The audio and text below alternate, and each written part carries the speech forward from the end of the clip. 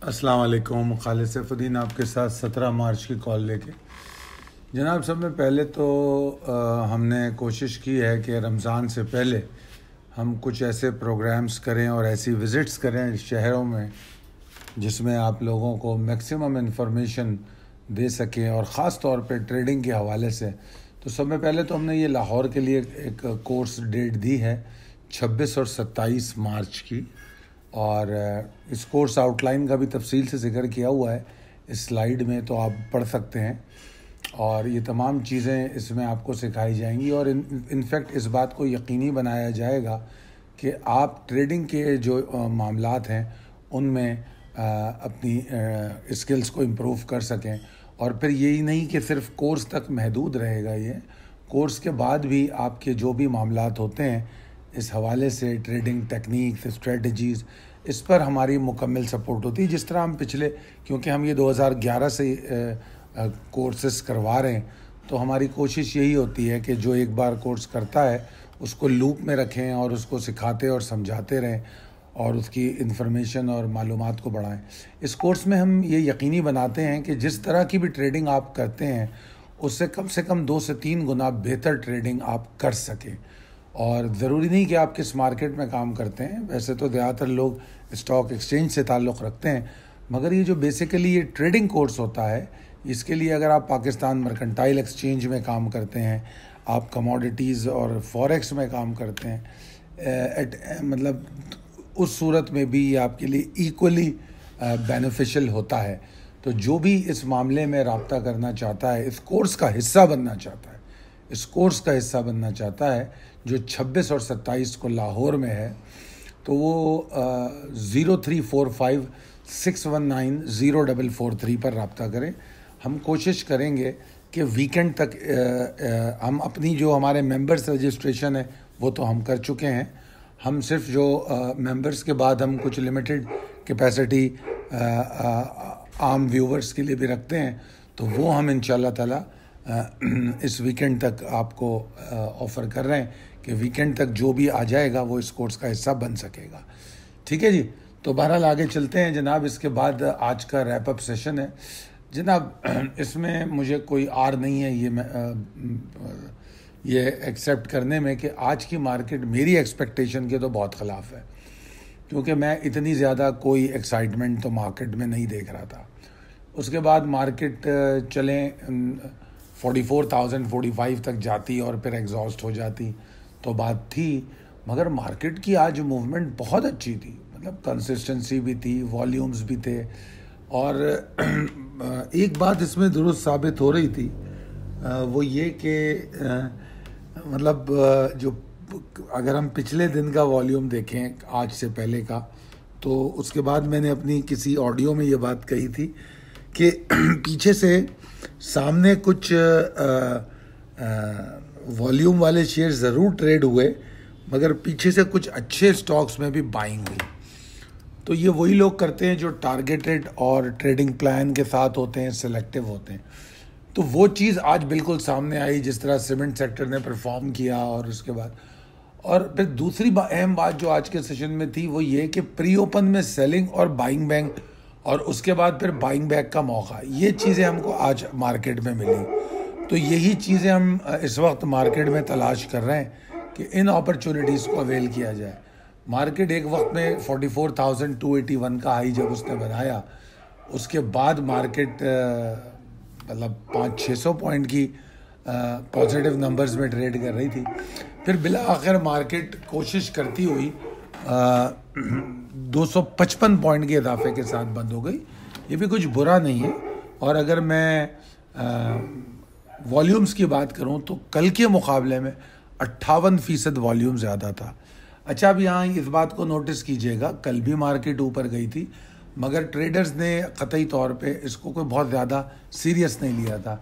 आज कुछ लोगों ने इसको थोड़ा बहुत सीरियस लिया, जिसकी वजह से 58 परसेंट वॉल्यूम बढ़ी। मगर उसके बावजूद भी अगर दो सेशन को मिला के देखा जाए तो दो सेशन को अगर हम मिला के देखते हैं तो आ, मैं आपके सामने नंबर्स ले आता हूँ कि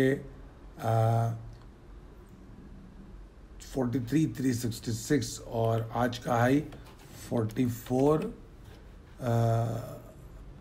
forty four two eighty four का हाई और उसके बाद अगर हम उससे पहले की क्लोजिंग देखें तो forty three three sixty seven थी तो 917 पॉइंट की मूव अगर मैं क्लोजिंग से लूँ लो से लूँ तो वो फिर शायद कमो बेश हज़ार पॉइंट हो जाएगी.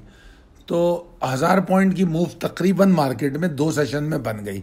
एक बात ये नज़र आई. अब हज़ार पॉइंट की मूव बनने के बाद क्या वॉल्यूम जस्टिफाइड है? तो नहीं, वो नहीं है. ये बात एक बात समझनी होगी आपको। कि इतनी अच्छी मूव बनने के बाद दो सेशन में हज़ार पॉइंट की मार्केट के पॉइंट्स जस्टिफाइड नहीं है। तो ये जो चार्ट मैंने आपको दिखाया है, इसके अंदर बड़ा वाज तौर पे ट्रेडिंग ऑन लेवल नज़र आता है कि अगर आप ट्रेडिंग ऑन लेवल कर रहे हो तो आज की मार्केट रीजनेबल थी फेयर थी, आपको उसने अच्छी अपॉर्चुनिटी अपॉर्चुनिटी दी। अच्छा जनाब प्रिसाइज लेवल अपडेट हो गए हम चलते हैं possibilities and strategies as per technical chart की तरफ़। तो वही बात दो एक्साइटिंग बुलिश सेशन उसके बाद आज की पार्टिसिपेशन कोई ख़ास हौसला अफजा नहीं है। आ, और मैं ये समझता हूँ कि कंफर्टेबल राइड अगर ऊपर की तरफ़ होनी है तो उसके लिए अब मार्केट को चवालीस हज़ार नौ सौ दस के ऊपर रुकना होगा। जिस तरह आज अगर आप देखें तो चवालीस हज़ार पैंतालीस का जो लेवल है, इसको मार्केट ने काफ़ी हद तक ऑनर करने की कोशिश की। बेशक एंड में वो नाकाम हो गया, इसमें कोई शक नहीं कि वो एंड में नाकाम हो गया, मगर कोशिश की कोशिश की उसने कि वो फोर्टी फोर थाउज़ेंड पैंतालीस के ऊपर रुके।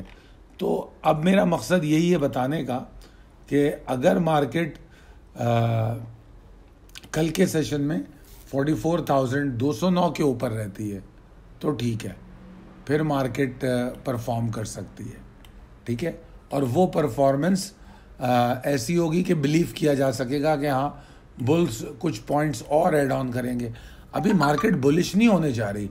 मार्केट के बुलिश होने में अभी भी वक्त बाकी है। एनीवेज तो मेरा मकसद सिर्फ़ यहाँ पर समझाने का यह है कि forty four thousand two hundred and nine के ऊपर वॉल्यूम जनरेट हुए तो मार्केट में ताकत है, वरना नहीं है। अगर मार्केट खुल के forty four thousand two two hundred and nine को टेस्ट करती है और वहाँ रुक नहीं पाती और नीचे आती है तो वो सिर्फ़ एक अपॉर्चुनिटी होगी जो प्री ओपन सेल की हम बात करते हैं। वो सिर्फ़ वही अपॉर्चुनिटी होगी। ठीक है जी? तो इस बात को समझते हुए ट्रेड कीजिएगा। और ऐसी सूरत में आपके लिए बेहतरीन तरीक़ेकार ये होगा कि प्री ओपन सेलिंग लगाएँ, नंबर एक।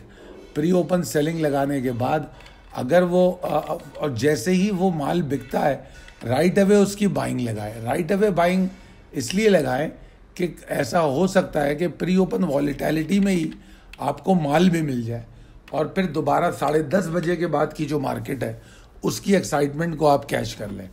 और अगर मार्केट आगाज़ के साथ ही अगर forty three thousand nine thirty six के नीचे ट्रेड करती है तो आप एंट्री नहीं लेंगे, आप पीछे हट के खड़े होंगे और आप निचले लेवल्स पे टारगेट करेंगे।